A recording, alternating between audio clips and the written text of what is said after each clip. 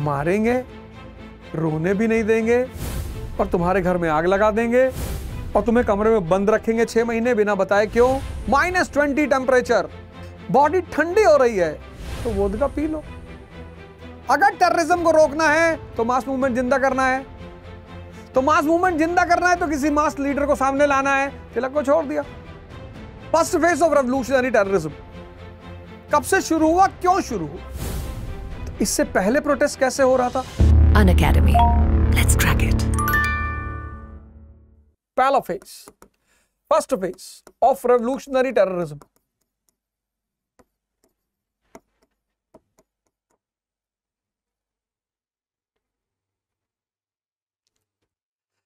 first phase of revolutionary terrorism कब से शुरू हुआ? क्यों शुरू हुआ? तो यह शुरू हुआ 1907 से 1914 तक। यह हमारा फ़र्स्ट फ़ेज़ था, first phase of revolutionary terrorism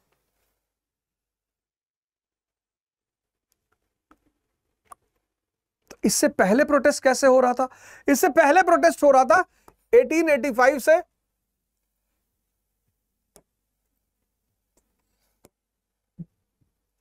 eighteen eighty five से 1905 तक। कौन सा फ़ेज़ था? मॉडरेट फ़ेज़ था। पेटिशन एंड प्रेयर किसी ने सुनी ही नहीं। दूसरा फ़ेज़ 1905 से 1907 ये दूसरा फ़ेज़ था। एक्सट्रीमिस्ट सरकार ने बदतमीजी शुरू कर दी। कांग्रेस को ही डिवाइड कर दिया। सूरत स्प्लिट इंडियन सोसाइटी को ही डिवाइड कर दिया मुस्लिम लीग और फिर पब्लिक को मारने लगी।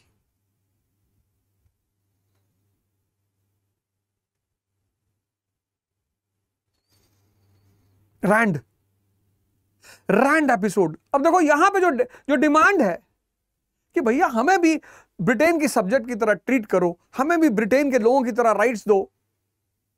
और क्या मांग लें भारत के लोग? भारत के मॉडरेट लीडर्स क्या मांग रहे हैं? वही जो ब्रिटेन पॉर प्रॉमिस करता है। कि जो भी टैक्स दे रहा है, उसको हम रिप्रेजेंटेशन देंगे। तो हम टैक्स दे रहे हैं ना। यही बात अमेरिकी क्रांति में हुई थी। उन्होंने भी नारा दिया था नो टैक्सेशन विदाउट रिप्रेजेंटेशन भारतीयों ने भी नारा दिया नो टैक्सेशन विदाउट रिप्रेजेंटेशन आपने सुनी ही नहीं। देखो 19 1892 1892 का एक्ट पढ़ो। मॉडरेट्स के जितने भी डिमांड थे, सबके साथ मज़ाक किया गया। Indirect voting indirect election dominancy of official members in legislature भारतीयों की डिमांड के साथ मज़ाक किया गया। उस मज़ाक का परिणाम रहा एक्सट्रीमिज्म अब जब इन्होंने प्रेशर बनाना शुरू किया पैसिव रेजिस्टेंस और बॉयकॉट करना शुरू किया तो फिर उसका परिणाम हुआ, इन्होंने बदतमीजी कर दी, सूरत स्प्लिट कांग्रेस को बांट दिया और इंडियन सोसाइटी को बांट दिया, Muslim league plus plus plus बदतमीजी करने लगे। रैंड एपिसोड पूना में प्लेग फैला हुआ था, ये प्लेइंग इंस्पेक्टर था रैंड ये घर में जाता है, वहाँ एक औरत को बच्चा पैदा हो रहा होता है और वो लेबर पेन से पास कर रही होती है। ये इंस्पेक्शन करने आता है। घर वाले बोलते हैं कि साहब, बस बच्चा हो जाए साहब, उसके बाद आप इंस्पेक्शन कर लो। अरे what you're saying he goes inside he drags the lady outside the lady also died the child also died ये राजा का बिहेवियर है।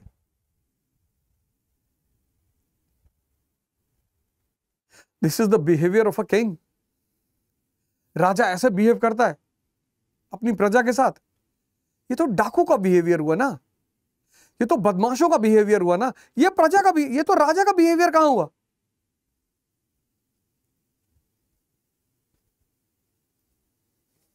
And then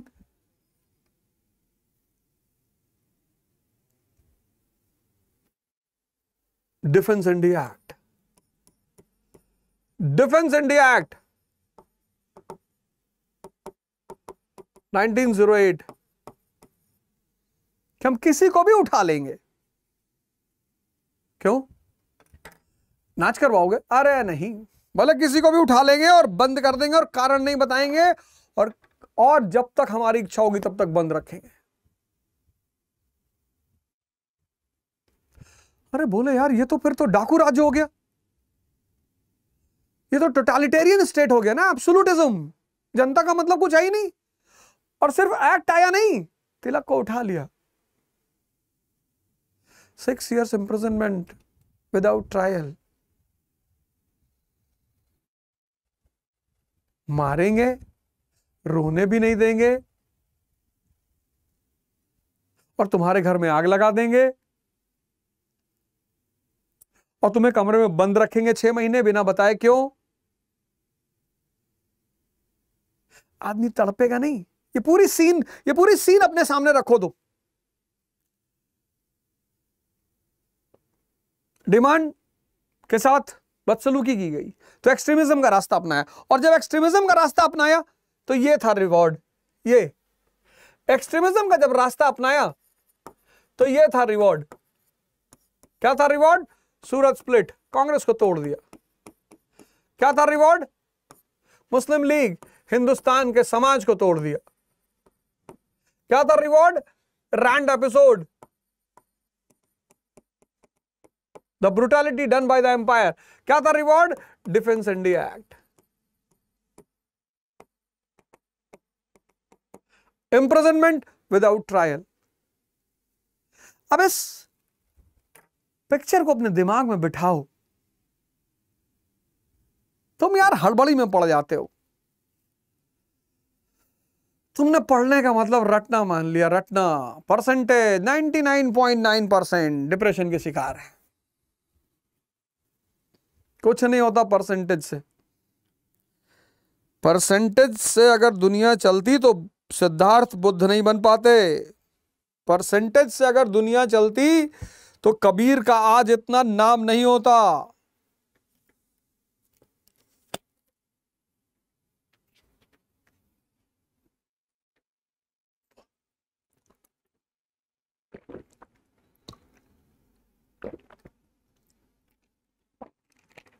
percentage?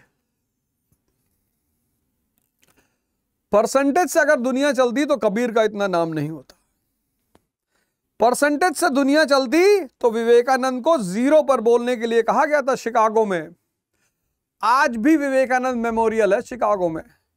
Zero zero. वो जिस महिला ने उनको अपने घर में रखा तो बेचारी रिक्वेस्ट करने गए रिलीजियस कन्वेंशन में कि साहब एक सन्यासी इंडिया से आए, साहब, इनको भी बोलने दो। तो वेस्ट के लोगों को लगा कि बिल्कुल, चलो अच्छा चलो, बुलाएँगे तुमको। ज़ीरो पे बोलो। उस आदमी ने इतिहास रच दिया। और इतना बड़ा इतिहास कि जिस कमरे में वो रुके, जिस बेड को इस्तेमाल किया, जिस पिलो को इस्तेमाल किया, जिस पेन को इस्तेमाल किया, अमेरिका आज भी प्रोटेक्ट करके रखा हुआ है। इंडियन गवर्नमेंट के मांगने पर नहीं देता। कहता ये मेमोरी है साहब हमारे लिए। इतना बड़ा महान आदमी ईस्ट से आया था। हम उसे भिखारी समझ रहे थे, वो सन्यासी निकला। हमें पहली बार जीवन में पता चला कि सन्यास का मतलब क्या होता है।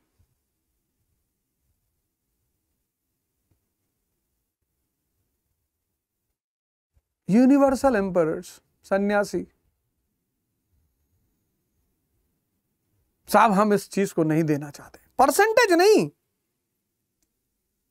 ऑब्जर्वेशन ये है इंडिया की स्थिति 1908 में। ये।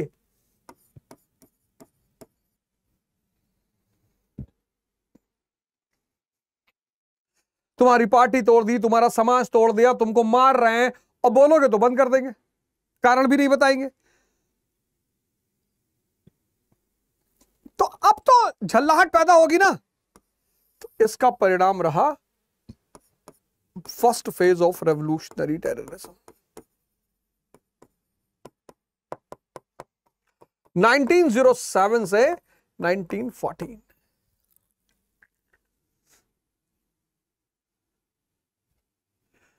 कनेक्ट हुई ना बात?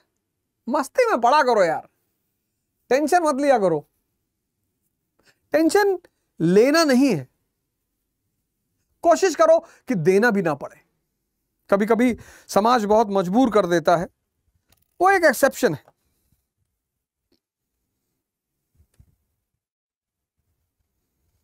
टेंशन लेना नहीं है, कोशिश करो देना भी ना पड़े।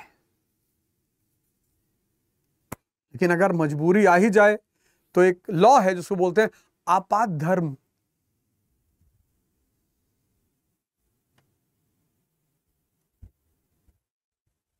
आपात आपातकाल एक्सेप्शनल सिचुएशन अंटार्कटिका में फंस गए।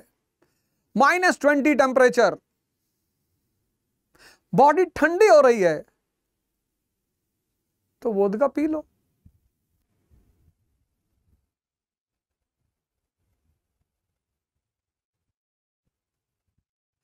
बॉडी ठंडी हो रही है तो वोदका पी लो। अब 1908 का India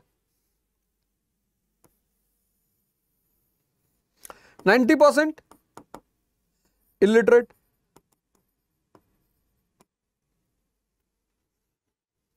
ninety percent suffering from poverty country is nation is absent कोई नेशन है ही नहीं। जिसको हम इंडिया कह रहे हैं, वो है ही नहीं। ये देखो 1908 की कंडीशन भारत की। 19 90 percent illiterate 90 percent suffering from poverty the concept of nation is absent concept of nation concept of nation is absent अब क्या करोगे? अब इस सिनारियो में तुम ऑर्गेनाइजेशन बना नहीं सकते। तो जनता आएगी नहीं। किस बेसिस पे बनाओगे? क्या करोगे? ये सिचुएशन पिक्चराइज करो पिक्चराइज ऑब्ज़र्व करो। यहाँ बनाओ, देखो, नब्बे परसेंट इलिटरेट नब्बे परसेंट पावर्टी रोटी चाहिए। नेशन और आज़ादी कोई समझ ही नहीं रहा ऑर्गेनाइजेशन बना नहीं सकते आइडियोलॉजी दे नहीं सकते। कहोगे हम भारत राष्ट्र बनाएँगे वो कहेगा, ये क्या होता है भैया ये राष्ट्र क्या होता है भैया तो इस फेस में तुम देखोगे secret societies. Secret societies like Abhinav Bharat. 1904 V D Savarkar.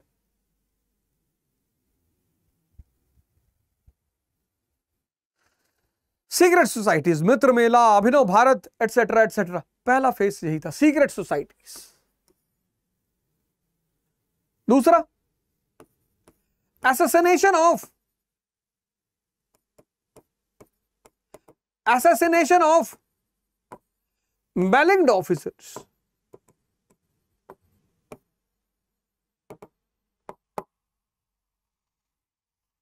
assassination of maligned. बदनाम अधिकारियों की हत्या। सबकी हत्या नहीं, बदनाम। रैंड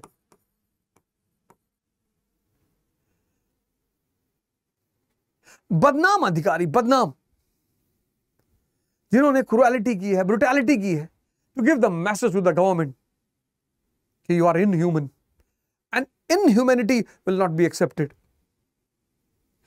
individual heroism organisation है ही नहीं। इंडिविजुअल हेरोइज्म इंडिविजुअल बना ही नहीं सकते। Individual heroism Khudiram Bose.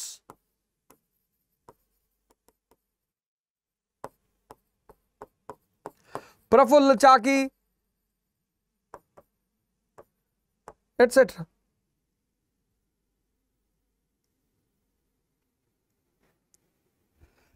association of maligned officers to awaken the government सरकार को जगाने के लिए बदनाम अधिकारियों की हत्या individual heroism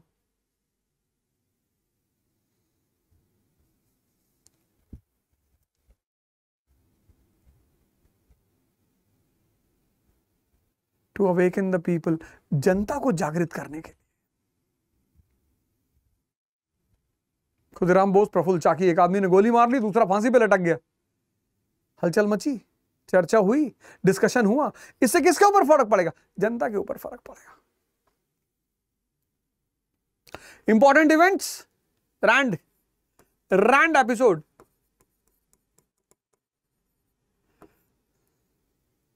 attack on Kingsford the जज of Muzaffarpur and attack on Lord Hardinge 1911 ये था first phase of revolutionary terrorism. क्यों? क्या? कैसे? देखो। कुछ भी पढ़ो, रटो मत। सीखो ऑब्ज़र्व करो, रुको।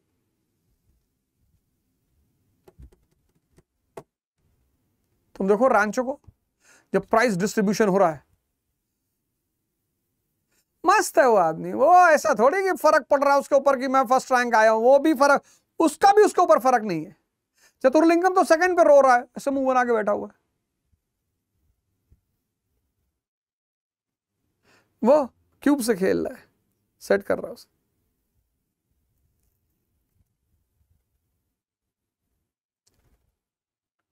डीन को एडवाइस कर रहा है कि सर ये सब अच्छा नहीं लगता। सबको साथ में बिठाना चाहिए। जिनके कब नंबर है उनको पीछे बिठाना। कहता, पीछे? और पीछे चले जाएँगे, उन, कुछ नहीं होगा उनका ज़िंदगी में, नौकरी नहीं लगेगी। कहता, सर, लग गई तो। देखो, मास्टर को टेंशन दे रहा है। कितना कॉन्फिडेंस है उसे, अपने स्टाइल पर, अपने अप्रोच पर।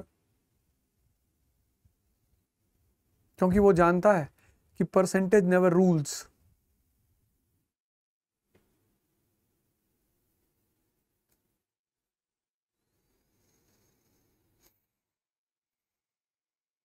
क्या एटमॉस्फेयर रहा होगा कंट्री का? 1930s में 20s में 40s में। और आज का एटमॉस्फेयर और कौन रिस्पॉन्सिबल है? एजुकेशन इस देश की एजुकेशन बस एक बात बोलती है, नौकरी करनी, नौकरी। ऐसा लगता है कि सब नौकर बनने के लिए पैदा हुए सब। बाकी तो साहब कुछ करना ही नहीं ज़िंदगी में। नौकरी करना है, बच्चा पैदा करना है, और कुछ करना ही नहीं लाइफ में। The soul goal of 90 percent population of this country कि भैया तुम्हारी नौकरी लग जाए तो हम खुद संतुष्ट हो जाए। अब तुम्हारे बच्चे हो जाए तो हम संतुष्ट। देखो तुम। ये देखो। गौर करो। ये देखो डायग्रामाइज पिक्चर बनाना। पिक्चर बना के उसे उसको सेव करना ऑब्ज़र्व करना कि हाँ यार, क्या बात है। ये देखो।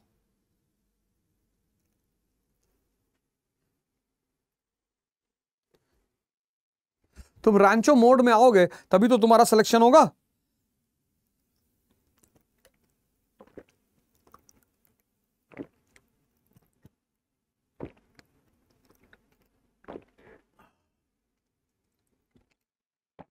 तुम जब रैंचो मोड में आओगे, तभी तो तुम्हारा सिलेक्शन होगा। नहीं तो परेशान हो जाओगे अपसेट रहोगे डिप्रेशन में रहोगे।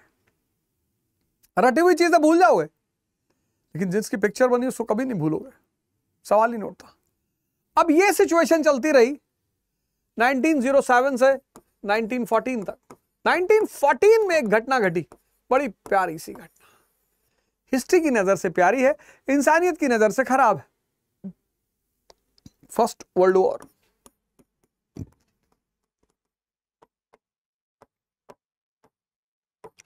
Nineteen fourteen से 1918 फ़र्स्ट वर्ल्ड वॉर।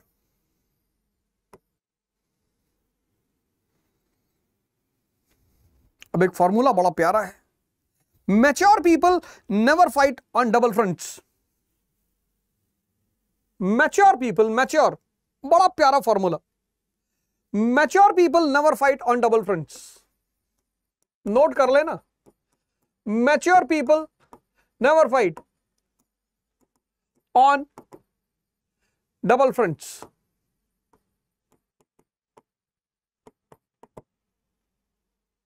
energy लगती है भैया. ताकत लगती है। ड्रेन हो जाओगे दोनों फ्रंट पे। अब तुम दिल्ली आए पढ़ने के लिए। यहाँ के लैंडलॉर्ड बेचारे वो हाईली कॉमर्शियल बड़े टर्म्स एंड कंडीशन बताते हैं। ये नहीं करना, दस बजे के बाद लाइट नहीं जलाना, दस बजे ताला बंद हो जाता है। कोई पार्टी नहीं करेगा। किसी कमरे में कोई लड़की नहीं आएगी। तब रूम ले किस लिए रहे हैं सर? मेट्रो के नीचे ना सो जाए। पर तुम्हें उनसे नहीं लड़ना है। तुम्हें उनसे कहना कि ठीक है सर। आ, नहीं सर कोई नहीं आएगा। सर हम मैं भी नहीं आऊँगा सर। जब तक तुम्हारी ज़िंदगी खतरे में ना पड़ जाए किसी से उलझो मत। जब आई की तैयारी कर रहे हो बड़े गोल बना रखा है उलझना छोड़ दो। ये सारी दुनिया बस एक फिराक में है। किसी तरह तुम्हें उलझा दे। क्योंकि जैसे ही तुमने किसी को उलझाया, उसकी क्षमता आधी हो गई। Mature people never fight on double fronts एक एग्जांपल तुमको देता हूँ हिस्ट्री से। Kaiser William second first world war ये इडियट पता क्यों हारा? कैसर विलियम सेकंड जर्मनी सबसे लड़ रहा था, सबसे। ब्रिटेन से लड़ रहा था। फ्रांस से लड़ रहा था, बेल्जियम से लड़ रहा था, रशिया से लड़ रहा था। सबसे चारों तरफ़ ऐसे, चारों तरफ़ तलवार चला रहा था उसमें एक आदमी था, न्यूट्रल, एक फोर्स न्यूट्रल थी। थोड़ा सा पैनिक हुआ, इसने उसको भी एक तमाचा मार दिया। किसको? यूनाइटेड स्टेट्स ऑफ़ अमेरिका फिर सबने इसको पकड़ के बाल लड़ा के दीवार में पटक के इतना मार मारा इसको। ये देखो mature people never fight on double fronts देखो, मत करो। जिस नदियों से कई सारे नाले निकल जाएँगे ना उसका पानी का फ्लो कम हो जाएगा। और जिस नदी में कोई नाला और नहर नहीं होगी, उसका फ्लो बहुत तेज होगा। पानी बहुत ज़्यादा होगा। सीखो, और किस लिए पढ़ते हो? तोता बनने के लिए। अब ब्रिटिश गवर्नमेंट को पता था कि फ़र्स्ट वर्ल्ड वॉर से तो हम बाहर निकल नहीं सकते, लेकिन दो फ्रंट पे लड़ नहीं सकते। और भारत में चल रहा है रेवल्यूशनरी टेररिज्म अब इसको रोकना है। And there are two ways of protest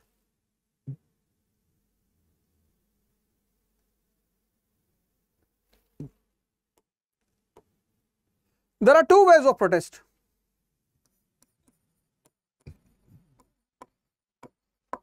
generally there are two ways of protest first is mass movement second is revolutionary terrorism समझ लेना, बहुत प्यारी बात है ये revolutionary terrorism and whenever mass movement will be suppressed revolutionary terrorism will emerge law है ये. Example दे रहा हूँ. देखो, Swadeshi movement was suppressed Swadeshi movement NCM non cooperation CDM quit India ये देखो। बाबूजी। तो whenever mass movement will be suppressed terrorism will emerge suppression movement Swadeshi movement वो सप्रेस्ड स्वदेशी मूवमेंट को सप्रेस कर दिया। तो first phase of revolutionary terrorism Khudiram Bose and Prafulla Chaki. NCM को सप्रेस कर दिया। Second phase Bhagat Singh, Sukhdev, Rajguru Azad Lahiri Ashfaqulla Khan. Third phase को सर सप्रेस कर दिया। सूर्यसेन थर्ड फेस और जब क्विट इंडिया मूवमेंट को suppress किया fourth phase INA Indian national army जब भी मास मूवमेंट को सप्रेस किया जाएगा तो उसका नेचुरल आउटकम होगा रेवोल्यूशनरी टेररिज्म इसलिए जनता जब प्लीड कर रही है रिक्वेस्ट कर रही है, हाथ जोड़ रही है तो सरकार को सुनना चाहिए। क्योंकि बहुत समय तक जनता बर्दाश्त नहीं करेगी।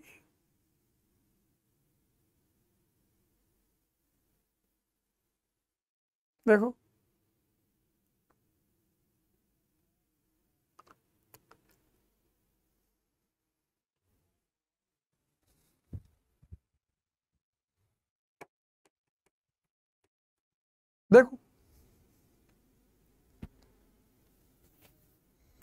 कितना बड़ा एग्ज़ाम्पल है आज की सरकारों के लिए। दुनिया में कहीं भी आज की सरकार हो, अगर मास मूवमेंट नहीं हो रहा है, और अगर हो रहा है, उसको सप्रेस किया जा रहा है तो तैयार रहो फिर।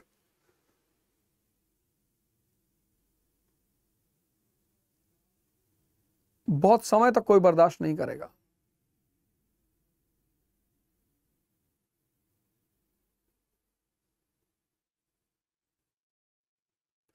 एकदम नहीं करेगा। तो अब अगर रेवोल्यूशनरी टेररिज्म को रोकना है तो सरकार को क्या करना होगा? मास मूवमेंट को ज़िंदा करना होगा। तो 1914 में सरकार ने तिलक को छोड़ दिया। Tilak was release from jail छह साल पूरा भी हो गए थे। पर डिफेंस ऑफ़ इंडिया में एक्ट में बंद हुए थे। Imprisonment without trial as per दिल ऑफ़ द गवर्नमेंट छह साल और बढ़ा देती छोड़ दिया। क्यों? मास लीडर है ना?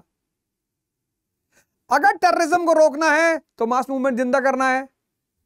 तो मास मूवमेंट ज़िंदा करना है तो किसी मास लीडर को सामने लाना है। तिलक को छोड़ दिया।